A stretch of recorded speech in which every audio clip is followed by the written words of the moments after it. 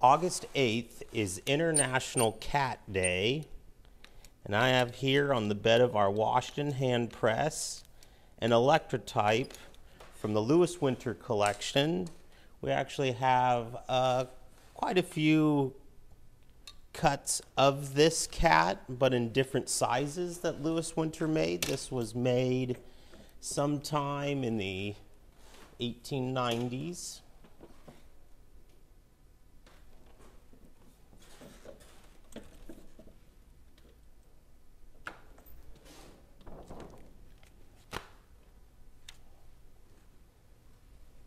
So here's for all the cat lovers out there for International Cat Day. Press the red button, Howard.